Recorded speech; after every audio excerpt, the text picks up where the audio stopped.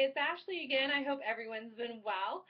I um, obviously have been out of the loop once again. I'm not keeping up with the videos like I should, but it's the thought that counts, and I'm constantly thinking about it. And today I said, you know, I need to take a break and get to it. I'm trying to get through writing a final paper right now, and it's just like, um, I will get there. But I've decided I deserve a little bit of fun. Since I wrote a few pages, I'm going to upload a video. And um, I have somewhere to be tonight, so of course um, I'm going to do my makeup and um, eventually my hair. I like to sit in my top's turban. Um, but as you can see, I have quite a bit of blemishes and pimples and redness, and it's just kind of been crazy. Um, I guess it's just stress coming through my skin, um, which isn't very good, but that's okay because we have makeup. So I'm going to show you um, a new routine that I've been using just because I've, I don't have isolated breakouts. I kind of have, you know, just all over the place. Um, so I'm going to use my cream concealer palette that I purchased from Romwe. And I like to use the yellow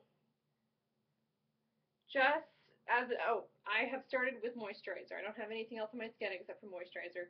But I'm going to start with the yellow and just randomly, wherever I have some redness, lay it over.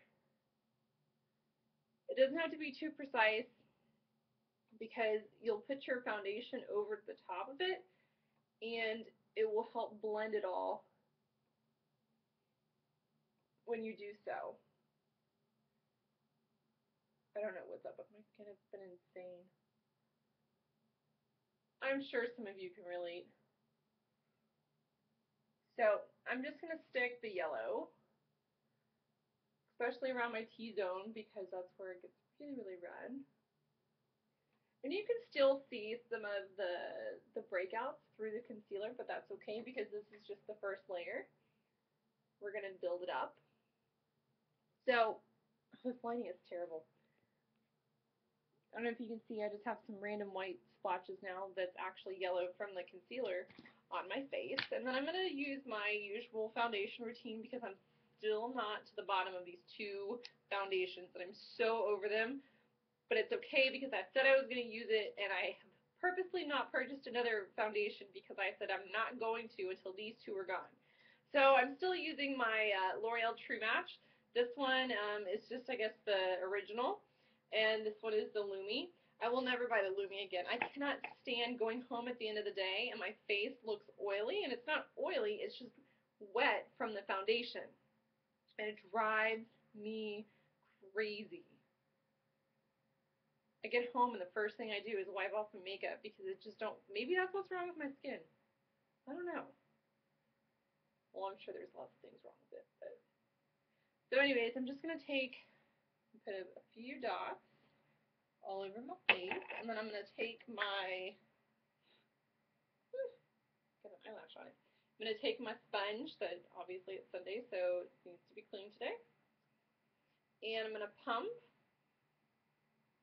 a few dots onto my sponge, just like that. And then dab it all around my face. Now, you don't want to, like, wipe. You want to pat in with the sponge just to get a nice even application.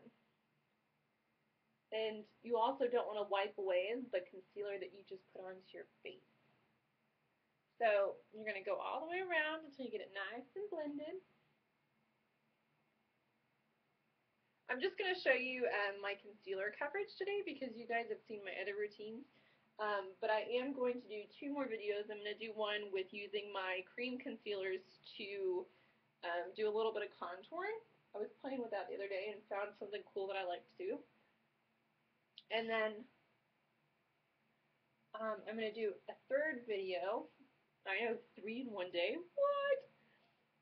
I'm going to do another video with um, a new mascara that I found. And, and I wasn't going to buy mascara, but I actually found a pretty cool, cool deal at Ulta, and I had to take them up on it. So anyways, I have now blended in my foundation. As you can see, there's still oops, there's still a few blemishes sitting there. But that's okay because I'm now going to use the palette to kind of create my own, sorry from the text messages. Create my own skin tone to blend in and go over where there's still a few showing. And this typically gives you the coverage that you need. Depends on how bad your breakouts are.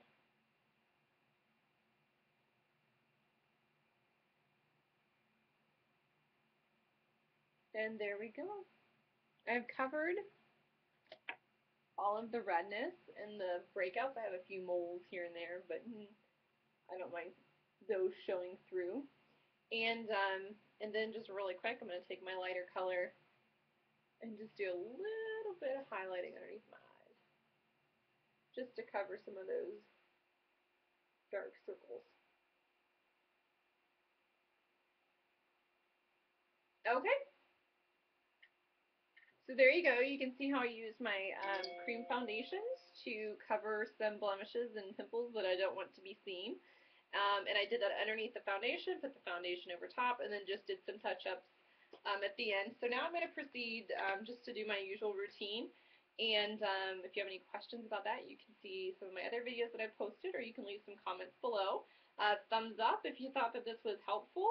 Thumbs down if you were like, girl, you don't know what you're doing. Let me show you If you don't like what I'm doing or you think I could do better, I would love to hear that um, as well. So you can leave me comments down below. And I hope you guys have a fantastic day, and I will see you soon. Ciao.